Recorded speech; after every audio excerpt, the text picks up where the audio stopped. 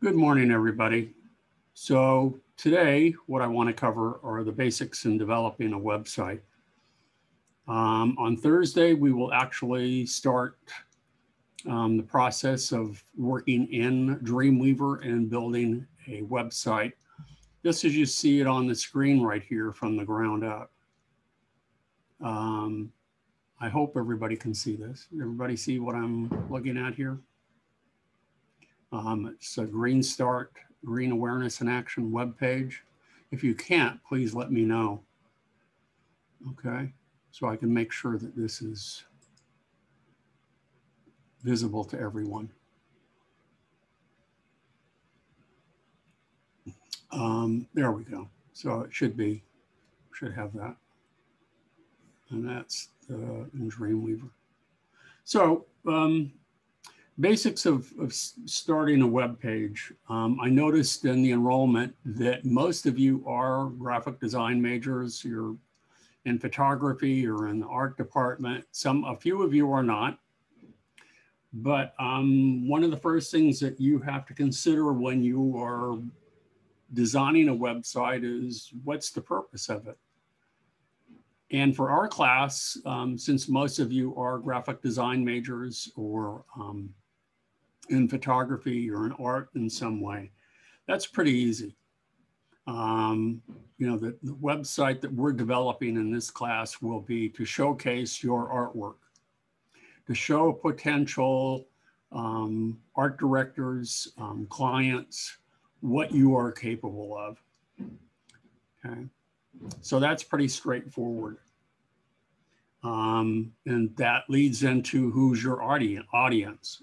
As I said, it will be other graphic designers, it will be clients, um, it will be art directors, it will be um, um, a number of people who are interested in graphic design, who are interested in purchasing photography.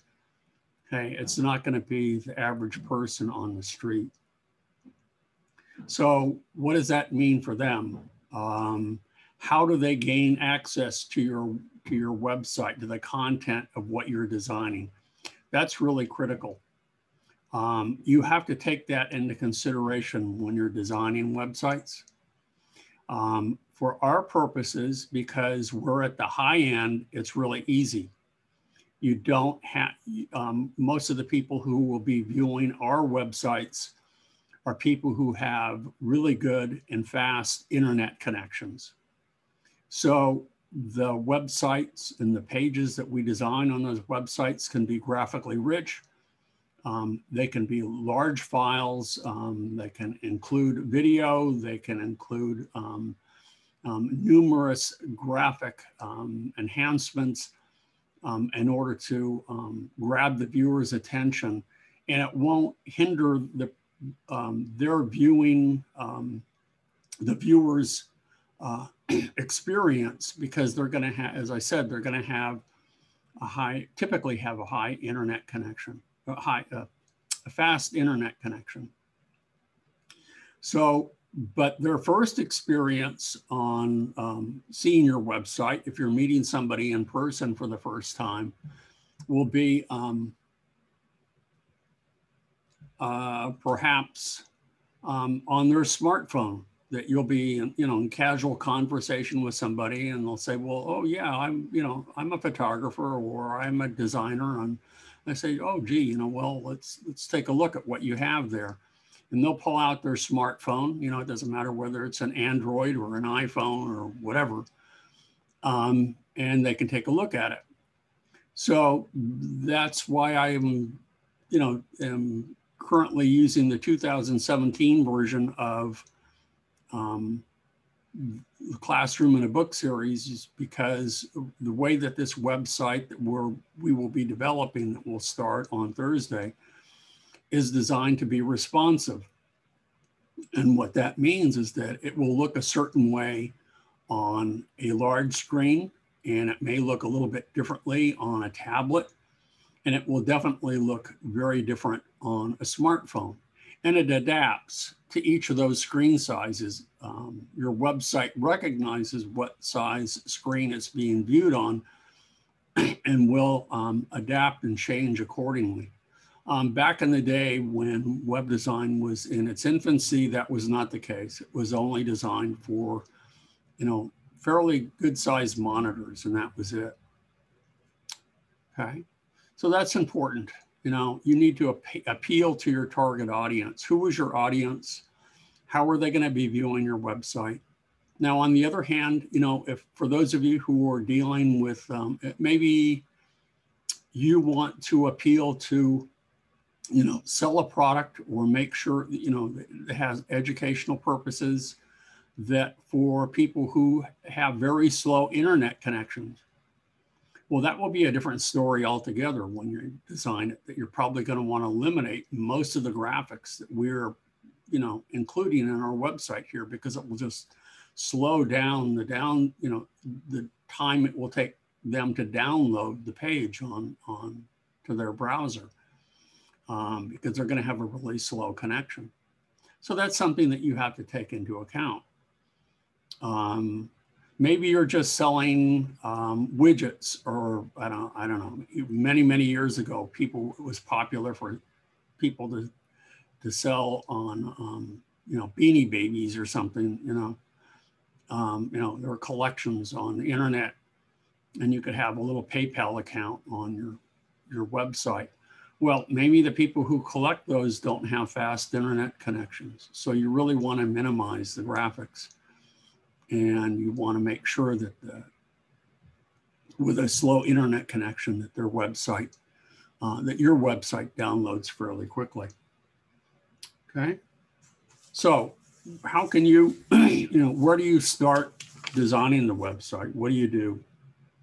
Um, the scenario is, is that you're going to start with basic thumbnails and wireframes and you're going to create them that way. But today, most of the time, you know, people go direct to laying out a page, for example, in Photoshop. And that's what I have uh, up on the screen right now. Um, this is um, a basic website designed, the one that we'll be doing, you know, building from the ground up in Dreamweaver. But, um, and you could actually work from this and translate it into Dreamweaver, but we're going to actually build it from the ground up. But this is a good starting point for us, a good visualization to be able to, um, to build the website. So you need to start and decide, well, how, you know, what's the size of the website? that's changed an awful lot. Um, back in the day, um, websites were maybe 800 by 600 pixel resolution. That's fairly small. Today, that would be about the size that you would use for a tablet. So that is something that you need to take into consideration. But if we look here, if I go to image, image size, we can see that right now that this is almost 1200 pixels by about 925 pixels. That's a pretty good size for a standard website these days, 1200 by 920 or so. Okay, so you wanted at least maybe 1200 pixels wide by about, you know, because websites are horizontal, they're not typically vertical horizontal. So you want them, uh, uh, the basic design of your website to start off to be about 1200 pixels wide by about 920 deep. Okay, that's where you start. Okay. Um, the next thing that you need to take into consideration when you're looking at the size, uh, the fundamentals of the layout of a website. You want to make sure that the, the there's consistency in the design of your website from page to page to page.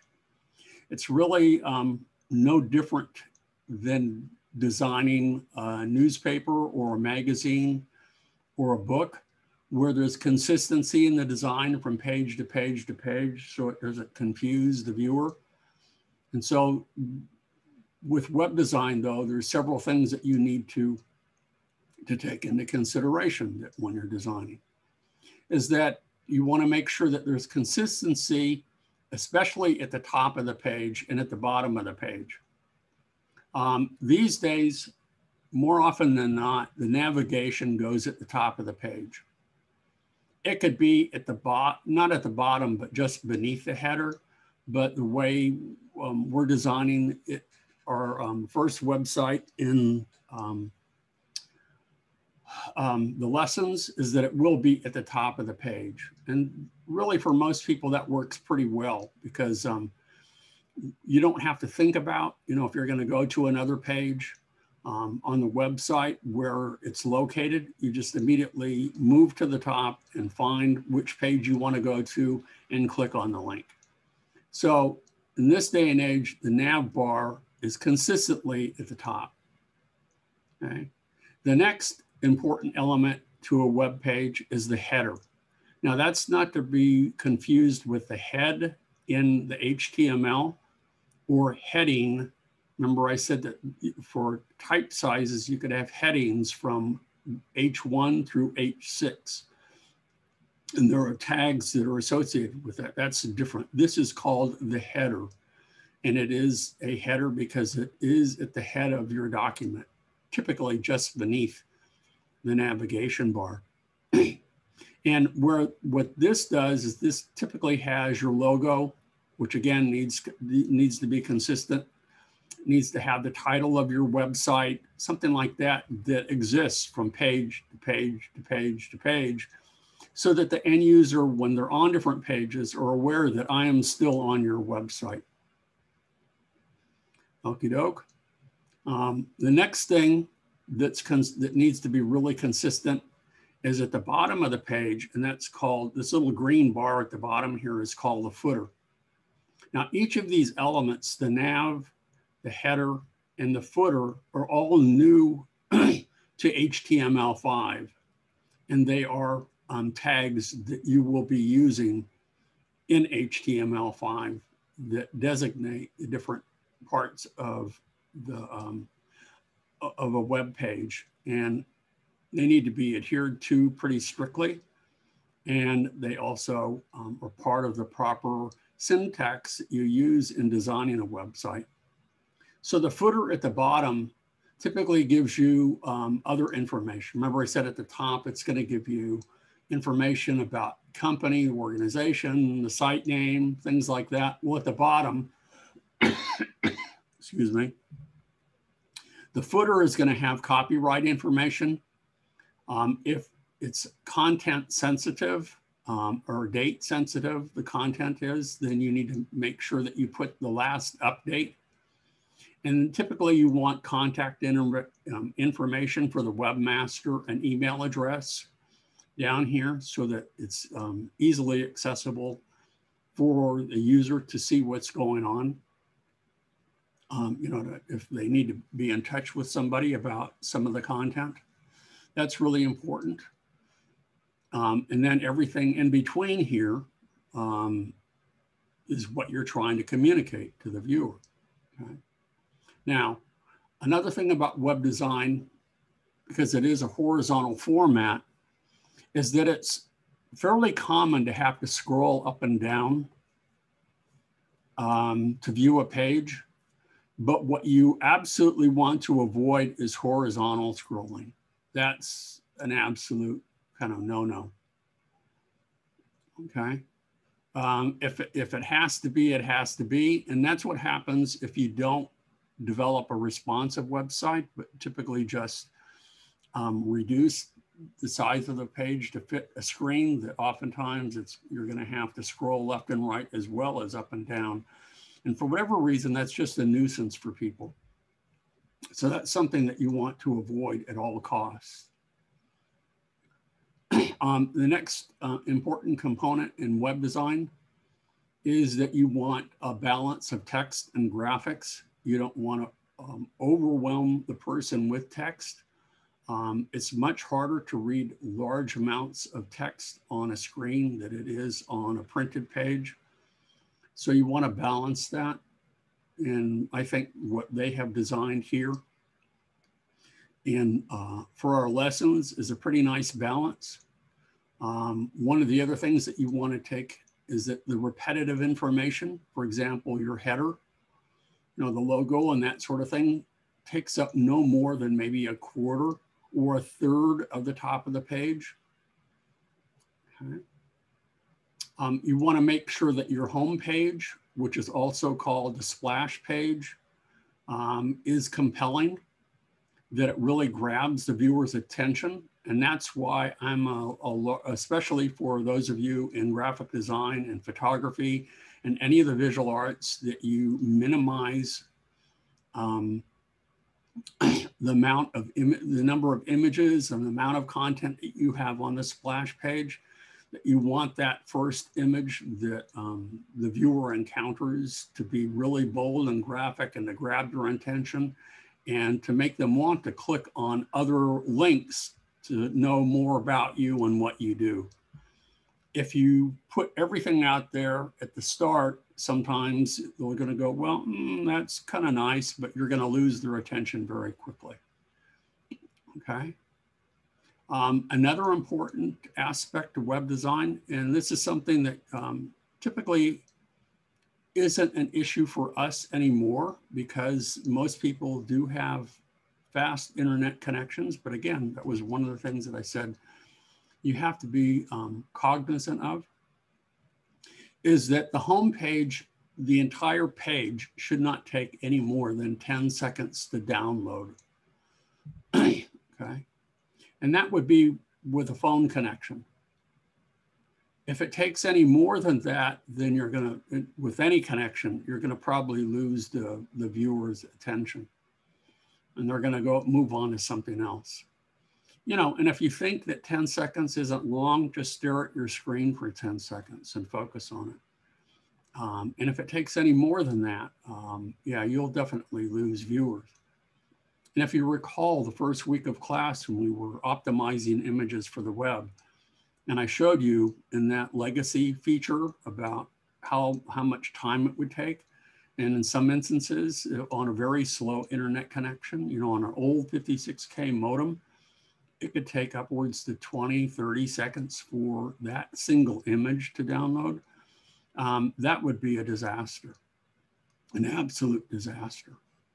Okay. So the next thing um, you need to consider is that you want maintain consistency from browser to browser because it will be the browser that renders your page.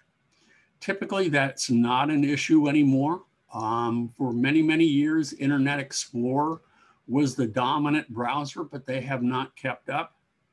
So sometimes the page that you design um, in our class uh, will not display correctly or it will be a little bit different on Internet Explorer. Um, Netscape used to be the dominant, I mean, that was one of the first dominant browsers. I don't know how many of you ever experienced that. It's gone. Um, today, um, Google Chrome is the dominant browser. And the next up with that is um, Firefox. Some people use Opera. Um, Safari is still one of the major players, but um, I think Chrome and Firefox are the dominant ones. Um, you want to make sure, and that's why we have the navigation at the top, that your navigation links are clearly and consistently labeled. Um, you want to make sure that it's easy to use for your target audience. Um, back in the day when we used, if we wanted fancy looking links, we would have to use images as opposed to CSS to style them. And that could be a problem for people with um, um, who are visually dis, uh, impaired. Um, okay. Um, make sure that all navigation, you know, hyperlinks, navigation hyperlinks work. That's really important. Make sure that it doesn't take you to any, um, you know, blank pages or work in, uh, in use and that sort of thing. Uh, you know, the, in work in progress, that sort of thing. Um, use of um, colors on a page and backgrounds um, should be limited, including text, to maybe three or four colors, and that's about it. Um, make sure that there's adequate contrast between the background color that you're using and the color of your text. Some people like using a dark black or blue or red background or something like that. Make sure that the color of text that you use, if that's the case, is really light in value so that the, it can be read easily. Make sure that the colors that you use are consistent. Make sure that the colors associated with them are um, work properly with the target audience or what the purpose of your website is for. For example, if you were um, designing a website for a bank, um, maybe you would, or a, you know, typical corporate colors or these deep blues and grays, and they, you know, they um, um, denote, you know, stability and conservative, you know, conservatism and that sort of thing. And maybe that's what you want, and maybe for you know for them. But in this case, for example, the green start Using greens um, makes perfect sense. Using the fern as part of the logo works really nicely. It has kind of a lively and friendly uh, appearance to it, and you really get the idea from the get-go. This is about conserving um, uh, conservancy in some way of nature, and you know making sure that you know you're up to date on how to um, properly dispose of rubbish and things like that and what you can do to conserve. So, you know, colors can be an important factor. And I repeat, don't use too many of them. And what colors you do use, excuse me, use them consistently. Um, make sure that, um, and that's what we covered the first week, that whatever graphics you do use, and that includes images or it could be um, um, graphs of some sort or whatever, make sure that they are properly optimized so that they will download quickly. Um, so that requires that you know the, si the approximate size of the image in advance so that you don't have too large of an image that will be forced to download and resize in the browser because um, that will add additional time to the download time make sure that if you choose to use animated images that they don't distract. Um, I would minimize or eliminate altogether um, little kind of herky jerky animated images from your website altogether. Um, initially, they can be kind of fun, but if they don't time out and if they play in a constant loop, they can become annoying very quickly. That can be true of, um, of audio as well. Um, used to be the case that a lot of people, especially back in the day when we were using Flash to enhance the design of our websites. Flash, by the way, no longer exists. So we could use Flash very easily to incorporate um, audio, um, you know, sound and video into our websites. Um, but audio and video take a lot of memory. And as I mentioned, audio, like animated graphics, can initially sound really wonderful, but if there isn't a way for the viewer to turn it off um, or to mute the sound, it can be really annoying after a while. And it doesn't take long to get um, for that, you know, to get on someone's nerves. Um, so what else do I want to cover here? Um, make sure that you stick to commonly used fonts. Um, there are more possibilities now that we are using HTML5 and CSS3, but what um, something that you will um, realize very quickly when we're actually building the website from the ground up is that when you use um, unusual fonts, if the end user does not have that font on their computer, then it will substitute it with another one. The browser will substitute it. So very often, and you will, in, I think lesson six, when we actually start to, after we build the basic um, underlying structure of our website and start to add these graphics, that you'll see very quickly when we start to add fonts that we're going to not specify individual fonts, but font families or font groups. um, so that in the, in the event that the end user doesn't have the font, that what will happen is that um, the computer or the, the browser will substitute the next in line and the next, and then it will maybe resort to a generic either um, serif or sans serif font. Um, it should be the case now that we're using CSS to um, style our pages, that you should be able to um, zoom in or zoom out.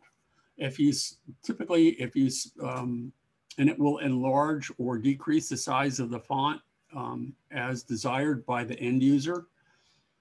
Um, that's really, really important. If you specify a specific font size um, and it's not overridden by a style sheet, that even on a small screen, it will adhere to that, that point size or that pixel size. And that can um, be a disaster sometimes if you're not careful. Um, Okie doke. Um, make sure that content is organized, organized in a meaningful manner. And that will be the next thing that I should talk about here. And you'll see that in the website that we'll be develop, developing in the lessons is a three column format. Um, typically, um, you're not going to use any more than three columns. In some instances, you may for portions of the page. But this, for the most part, um, is pretty standard. Um, you can have a two column format or a one column format. And you can have all three on the same website. But um, any more than that gets a little bit difficult, again, for the viewer to, um, to read the page. Um, the structure of the page is as follows. Remember I said at the top, we have our nav bar and we have our header and by the way, this is how um, the way that web pages are loaded into browsers is that it goes from the top of the page um, to the bottom, and it also goes from left to right. So as we're developing the website, it's going to load the nav bar first, then the header, and then it will um, load this left section over here, which is called an aside. Asides are also a part of um, HTML5 um, and part of the, the, the standard um, syntax that will be used. And then after that left aside, it will load the main content here, which is the, the core or the body of, of what you're trying to communicate to the viewer. And then it, will load the right aside here. And then it will load the footer last on the page. So it loads them in those order, in that order, from top to bottom, left to right. And as I said, you can either have a three column format, a two column format, or a one column format, whichever suits, um, you know, your website best, um, whatever it is that you're designing. Okay. And again, like consistency really is important. So make sure that you use um, fonts consistently, um, make sure that the structure of your page is consistent. Um, make sure that it's free of grammatical errors. Um, I'm a horrible proofreader, so um, that sometimes can be a problem um, for me even, you know, that I have to go back and revise. Um, if, as I mentioned from at the onset, make sure that if content on your web page does change frequently, that um, you have a date of the last revision or make sure that you have the copyright. Another thing that still kind of holds true in order to, um, for the end user to navigate through your website or the number of clicks it takes to get to any one area on your website. Because you can only view one page at a time. So um, typically, you should be able to, an, an end user should be able to navigate to your website anywhere on your website with, with a minimal number of clicks. Typically, there's a three click rule that within three clicks, you should be able to navigate anywhere on your website. And for our, our websites, that's very, that's usually not an issue. That's not a problem. Okay. Uh, make sure that your website doesn't include any outdated material. Um, you shouldn't really use things like click here. Um, by today's standards, people should know um, maybe by using different hover states and things like that, that that is a link and that's what distinguishes it from the rest of the content. Um, so yeah, make sure that you, um, you know, adhere to, you know, ba the basic web standards as I've talked about them here today. So um, if we were to look at this page now in um, Dreamweaver, this is what it would look like. Okay, pretty much the same. But now you can see um, that it's at, the elements of it are activated. That when I hover over the nav bar and the links at the top, notice how they change. Okay, they um, have different states, and this one is a hover state. That's important. Um, also, when I resize, and this will pertain to um, what happens when you create a responsive website. This is what it looks like when you have when you view the web page on a fairly large screen. Okay, you see all three columns as it is. And you'll notice at the very top of Dreamweaver here, you notice these this green bar and then the blue and the violet. Well, these indicate media queries. And so that means that at different, when the page is displayed at different sizes on different media, that it will change its properties. So if I resize this and I go down a little bit, let's see what happens. Now notice how it changed. It went from a three column to a two column format. And that's done and this is something that we will do inside um, the lessons when we develop these and we will create our own media query. That it went that it went from a large screen down to probably a vertical tablet or it could even be a horizontal tablet you know an ipad or whatever device that you choose. And in order to make it look appealing and to be um, responsive and make the content easily accessible to the viewer, um, it needs to be reformatted. And if you don't create a responsive website and it just shrinks this page down to a teeny tiny screen, it's going to be really hard for the viewer to read and they're going to have to enlarge it. And then it will result in having them scroll left and right as well as top and bottom, and it's going to be a disaster. So there are all of these additional design factors that you have to take into consideration that you don't have to think about when you're dealing in print. So again, as I resize it for a medium or small screen, goes to a two column. And then when I go down even smaller, now notice what it's doing. It's going all the way down here. And let me scroll down a little bit. There we go. I have the little hamburger symbol up here. And this is what typically what you see on um, a smartphone. So your navigation is up here in this little hamburger um, icon. And the rest of it is scrolls down. And you can see that all of it has been properly condensed and formatted for a small device. And again, as it automatically changes formatting, depending on the size of device that you use. Okay, so that's um, laying out in a nutshell. We will, um, and some of the things that you need to take into consideration. Another thing that we'll be doing later on is that um, near the end of the semester is um, I will have some videos for you to watch. They're already available for you. Is that if you want to take a web page that was designed in Photoshop and then immediately um, adapt it to Dreamweaver, that can be done.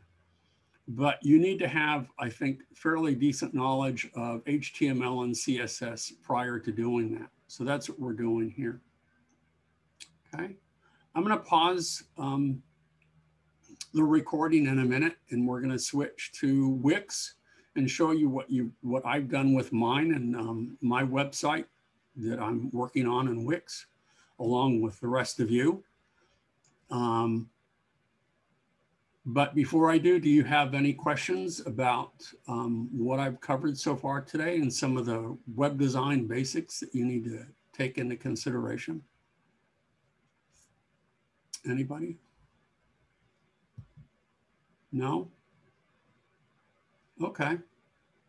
Well, let me um, show you what I'm doing in Wix here. So what I decided, because um, this is an ancillary site for me.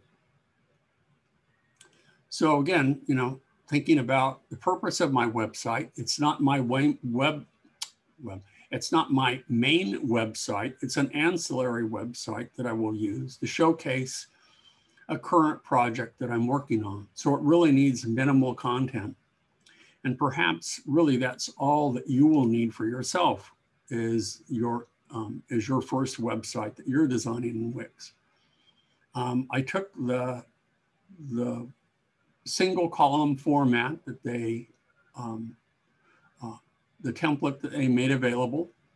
And I've added to it and noticed that while it's a single image that hopefully grabs the viewer attention, when I hover over that image, it's actually a slideshow. So they can see a total so far of nine separate images of my um, virtual gallery. That's what this is to showcase for people, which is my most recent project.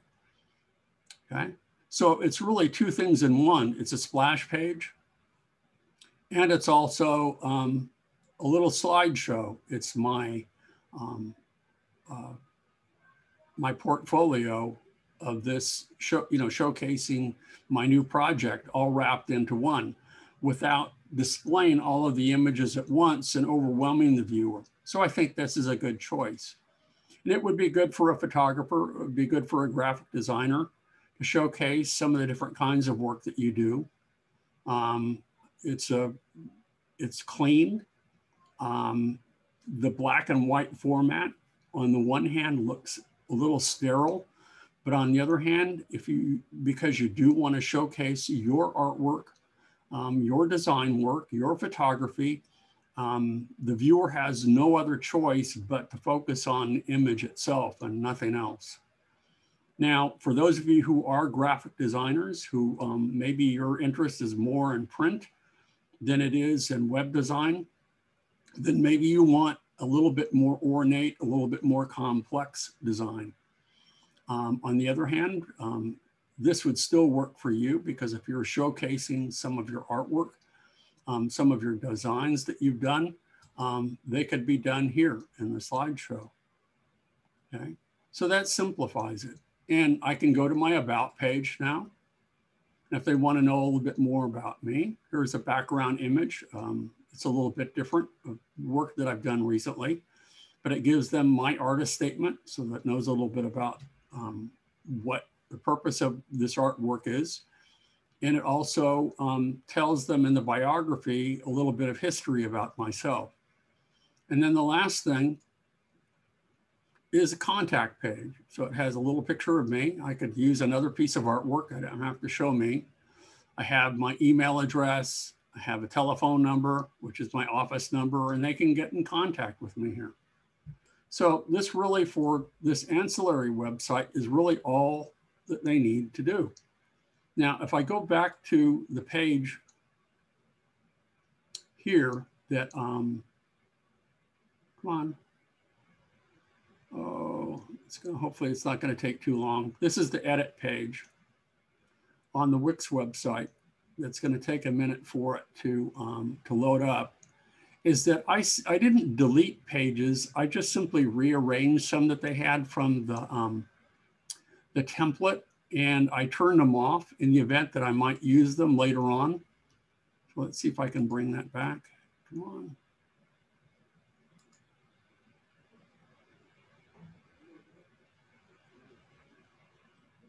Yeah, I want to go to the editor. Here we go. So here's the editor. So I want to edit my site. That's what I want to do. So I'm going back here again. Hopefully it won't take long to load up. I thought I had already loaded this morning because that could be like watching grass grow. Uh, it's going back to the same thing. So, oh shoot. Let me um, go ahead and pause the recording for a minute until that shows up. So here we go. Here's the edit page for this. Now, if I go under the page um, menus and pages itself, you'll notice that there's a whole bunch of other pages that they made available to me. And rather than in this template, and rather than delete them, I just simply went to the right here. And I said that I, instead of delete, I wanted to um, um, turn them off. Okay, I hid them instead. And that's all I had to do. I could always bring them back later on. I also, the um, about, or the contact rather, was a submenu of the about page. And I just dragged it out here so that it became its own element. Okay, so if we go back to the home page, we have that. And I got rid of most of them. I don't have to book online. If you have, if you want to book a client online, if you want to showcase your clients, you can do that because this is originally um, designed for a photographer. And I'm customizing it for, for myself, just as I said, for a basic um, ancillary website. So I only have three menu, you know, three links here, and that's it. Um, and I, I, probably will add um, one more page, um, and it will, I'll probably base it off the about page, and I will um, make it my um, uh, resume or a very short kind of resume page for the viewer. Maybe, maybe not. I mean, I have an extensive one on my website, my personal website, so I don't know. We'll see. But for your first website, really, that's all you need to do. Um, and again, it, it was pretty easy to go back in here. And if I go into menus and pages, and let's just look at, you know, again, the home page again. And then I can come in here and if I want to change the images, I can, and that's what I did. I clicked there. And you can see that um, when we started this template, we only had four images and I added to it. Okay. So we have a total of nine images now, and I could continue to add to that. It gives me a space over here to give me a title, and I probably should refine the titles in the descriptions. Now the title is also that they provide for us is going to be used as an alt tag. I should mention to you that alt tags will be important as we're developing um, our websites. Alt tags are used for um, people with disabilities, specifically for those who are seeing impaired. If they, if you know, you if you have an image on your page that is important, they're going to have images turned off and the reader that reads the web page to them, it will read the alt tag to them that say, this is an image of my art gallery, or this is an image of a design that I did in um, my 2D design class or something like that. So they'll know what, what it is that's on that page. But alt tags become really important to be ADA compliant. Okay. So that was easy enough to edit. On my About page, um, they only had, let's go to the About page.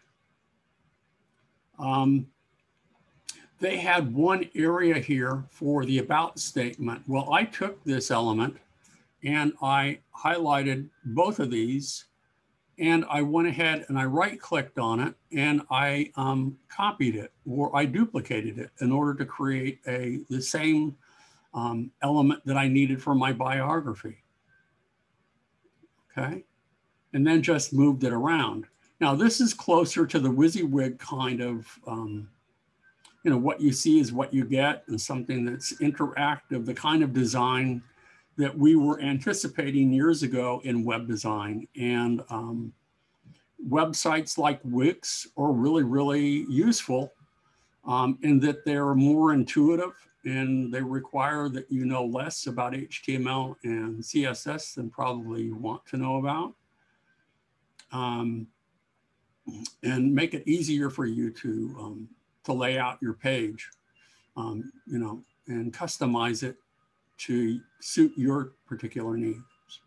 Now, right now, if I go to my finished one here, this is the published one that I have. And you can see that because I'm not paying for that, the downside to this is it says this site was designed with the Wix.com website builder. Okay, so that's the price you pay for free. Um, if you choose to use them as a host and pay for their services, then that will go away the my personal website, which is hosted by GoDaddy, I pay for that, and that's about ten dollars a month, or you know a little over a hundred dollars a year, for them to provide the hosting for me. So if you don't mind the little advertising that they do, then you can maintain a free website. The other thing that's a little bit awkward too is that when you go in here, um, notice that if you want to go to my page, it's going to go, it's HTTPS colon backslash backslash, and it's kirkmillerart.wixsite.com backslash my site, my hyphen site hyphen one. That's how you get to my website. Now, is there a way to work around that to go to something that's a little bit more personal? If you want to buy a domain name and you want to link it to that and forward it to this page, you can do that. And we will cover that a little bit later this semester. But for right now, um, to tell someone to go to this page is not easy because you have to, if I just put in kirkmillerart.wixsite.com, it will not take you here.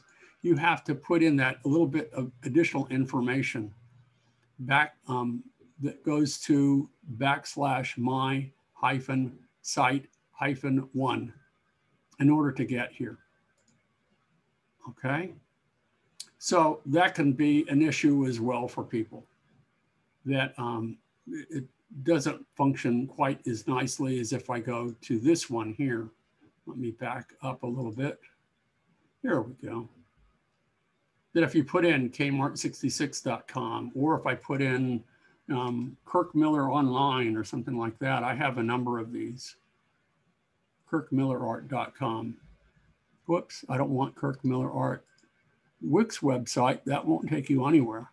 See, that's part of that problem. But if I just um, go to KirkMillerArt.com,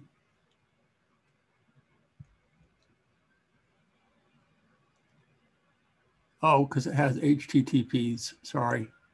See, that's another thing. I got to get rid of that. It's HTTP. There we go. It just it's another name for for my website that takes you here. But again, because this is being hosted by GoDaddy and I pay them, then I can have multiple domain names that link to this website. So that's another um, negative of using the freebie. Okay. So I need to know from you before we end today how you're doing with your Wix website. Um, on Thursday, I will begin lesson five, and we're going to build a basic framework um, upon which we will build an entire website. So we'll start with HTML.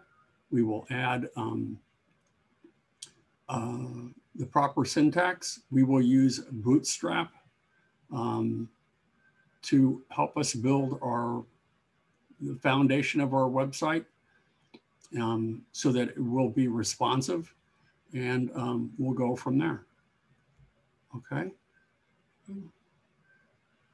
Um, probably by the end of the fifth week of class, I will post a, a due date. So this is the end, this is the beginning of the third week. So you still have three weeks to build it maybe four, even four weeks. Um, it's, it doesn't take much time for me to build um, my website because I already have the content um, built. I can glean this content from my personal website. I already have the images that I can um, work from. Um, I already have uh, uh, an about page. I already have resume. I already have those things written. Most of you don't. So it's going to take time for you to prepare, you know, decide on what images you want to use, um, what you want to name your website. Um, if you don't have a logo, um, maybe design one, a simple one. You really don't need one. Um, you know, if you're a graphic designer and you've already had a graphic design class, maybe you've designed one for yourself already. So that would be useful. Um, write a little bit about yourself for the about page. Um, if you have a resume, that would be great. If you don't, um, for the first website, for the Wix website, um, it won't be necessary, but you do need to write a little bit about yourself. Um, so that the end user, whoever is going to view your website knows something about you. And the contact page is pretty straightforward too. Those are pretty easy to do because it's already done for you really. It's a way for the end user to get in touch with all of you, you know, so they can get back to you. Um, something else I notice about this too is this does have, and I don't, I don't know if it functions yet, but with this particular thing, I can chat on here. Okay. So that'd be kind of cool. That's already built into the template. So I, I don't know if it functions yet or if I need to pay them to host my website in order to have this function. That's kind of cool. You know, it's already built into the template. You know, that would be otherwise difficult to add on your own. So um, there are other sources aside from Wix, if you feel like paying. There's another one that you might look into, um, and these would be good if you have clients as well, like Squarespace. Um, Squarespace has some really beautiful templates, um, but it can cost between 30 to $40 a month to maintain a website there. Um, that may be out of your budget, but if a client comes to you and wants you a, a a website designed very quickly and they're willing to pay that fee, then maybe that would be the way to go. And it would um, eliminate all the, the, the difficult work of building from the ground up using HTML and CSS and using an online online website builder like Wix, only you'd be using Squarespace instead. And maybe Squarespace would be, or Wix would be suitable for them. But if they paid for their domain name and it was hosted through Wix, you know, then you would get rid of this little ad at the top and you would be set to go. Okay, so um, if there aren't any questions, I'm going to go ahead and I'm going to pause the recording. Yeah, I'm hopeful that um, today has been a little bit informative into the basics of web design. And we will get into the nitty gritty of um, building a website from the ground up with um, lesson five um, on Thursday. And then most lessons will take a day. They could take two, sometimes three days to do. And um, when we reach the end of lesson seven, I will, or near the end of lesson seven, I will um, explain to you how you publish those lessons. Okay. Um, so that all I need to do is go to your website and click on it and I can see your published lesson and then we're set to go. Okay. So if that's it, you guys are um, free to go and I will um, see some of you or most of you, I hope, on, on Thursday. Okay. Bye-bye. Unless you have a question. If you do, I'll stick around. Okay. Bye-bye.